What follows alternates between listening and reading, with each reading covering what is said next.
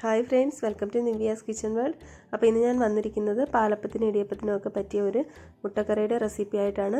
നല്ല ടേസ്റ്റി ആയിട്ടുള്ള മുട്ടക്കറിയാണ്. മുട്ടയൊക്കെ വളരെ കുറവായിട്ടുള്ള ദിവസങ്ങളിൽ നമുക്കിതുപോലൊരു കറി ചെയ്തെടുക്കാവുന്നതാണ്.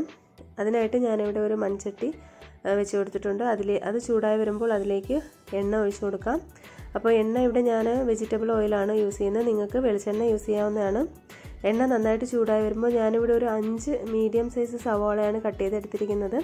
നിങ്ങൾക്ക് ഇതിന്റെ അളവ് കുറയ്ക്കാം കേട്ടോ. കൂടുതൽ വേണമെങ്കിൽ കൂടുതൽ എടുക്കാം. ഞാനിത് ഇത്തിരി കൂടുതലായിട്ട് തയ്യാറാക്കി എടുക്കുകയാണ്. അതുകൊണ്ടാണ് ഇത്രയും എടുക്കുന്നത്. അത് അതിന്റെ കൂടെ തന്നെ പച്ചമുളകും കറിവേപ്പിലയും കൂടി അരിഞ്ഞെടുത്തിട്ടുണ്ടായിരുന്നു. അതും കൂടി അതിലേക്ക് ചേർത്ത് കൊടുത്തിട്ടുണ്ട്. ഇനി നമുക്കതൊന്ന് നന്നായിട്ടൊന്ന് വഴറ്റിയെടുക്കണം.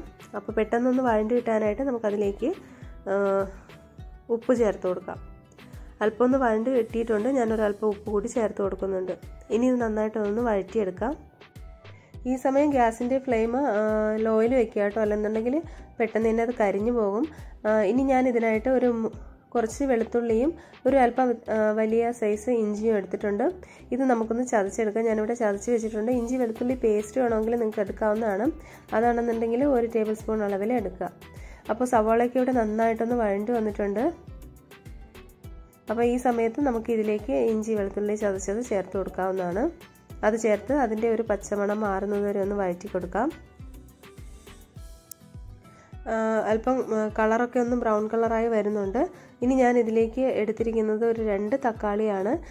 ഒരു വലിയ സൈസ് തക്കാളിയും പിന്നെ ഒരു ചെറുത്. അപ്പം മീഡിയം സൈസ് ആണെന്നുണ്ടെങ്കിൽ രണ്ടെണ്ണം എടുത്താൽ മതി കുഴപ്പമൊന്നുമില്ല.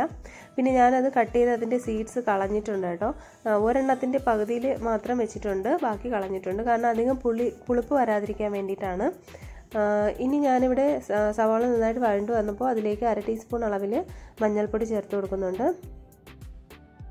ഇനി അതിലേക്ക് മുളക് പൊടി ചേർത്ത് കൊടുക്കാം.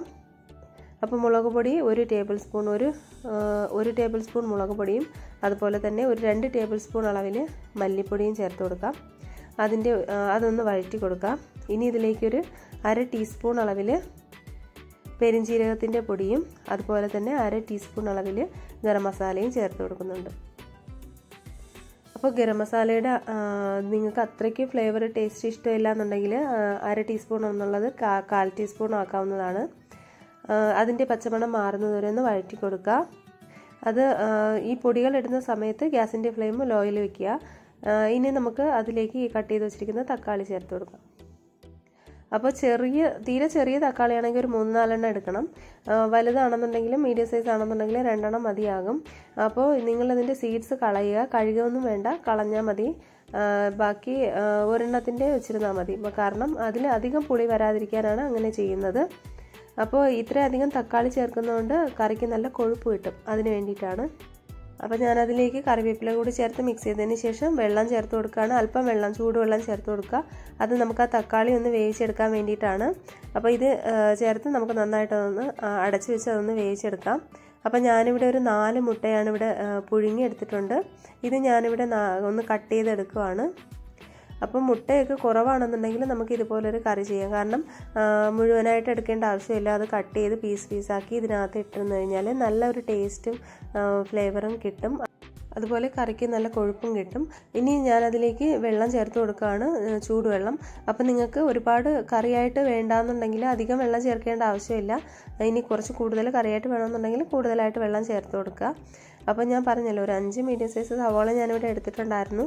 അപ്പോൾ നിങ്ങൾക്ക് കറി എത്ര വേണ്ടെന്നുണ്ടെങ്കിൽ കുറയ്ക്കാവുന്നതാണ്. അപ്പോൾ കറിയൊക്കെ ഇവിടെ നന്നായിട്ട് തിളച്ച് കുറുകി വന്നിട്ടുണ്ട്.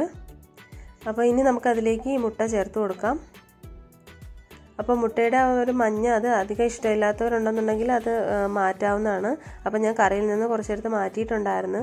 കാരണം ഇത്രയും മുട്ടയുടെ മഞ്ഞയൊക്കെ അതിലേക്ക് ചേർക്കുമ്പോൾ അത് ഇവിടെ ഇഷ്ടമാകത്തില്ല അതുകൊണ്ട് ഞാനത് കുറച്ച് മാറ്റിയിട്ടുണ്ട്. നിങ്ങൾക്ക് ഇഷ്ടമുള്ള രീതിയിൽ ചെയ്തെടുക്കാവുന്നതാണ്.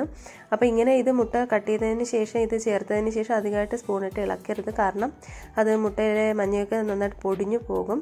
അതുകൊണ്ട് അധികമായിട്ട് സ്പൂണിട്ട് ഇളക്കരുത്. അപ്പോൾ അതിലേക്ക് നമുക്ക് കറിവേപ്പില കൂടി ചേർത്ത് കൊടുക്കാം. ഇനി ഇത് അടച്ചു വെച്ച് ഒരു മിനിറ്റ് ഒന്ന് ലോ ഫ്ലെയിമിലിട്ടൊന്ന് വേവിച്ചെടുക്കാം. അപ്പോൾ ആ മുട്ടയുടെയൊക്കെ ഫ്ലേവർ കറിയിൽ നന്നായിട്ട് പിടിക്കും. അതിന് വേണ്ടിയിട്ടാണ്. അപ്പോൾ നല്ല ടേസ്റ്റി ആയിട്ടുള്ള ഒരു മുട്ടക്കറിയാണ്. എല്ലാ പേർക്കും ഇഷ്ടമാകും. പാലപ്പത്തിനോടും ഇടിയപ്പത്തിനോടും ചപ്പാത്തിയുടെ ഒപ്പം കഴിക്കാൻ നല്ലൊരു കോമ്പിനേഷനാണ് ഉറപ്പായിട്ട് എല്ലാവരും ട്രൈ ചെയ്ത് നോക്കുക. അതോടൊപ്പം ഈ റെസിപ്പി ഇഷ്ടമാവണമെന്നുണ്ടെങ്കിൽ ഒന്ന് ലൈക്ക് ചെയ്യാനും ഷെയർ ചെയ്യാനും എന്റെ ചാനൽ സബ്സ്ക്രൈബ് ചെയ്യാനും മറക്കരുത്.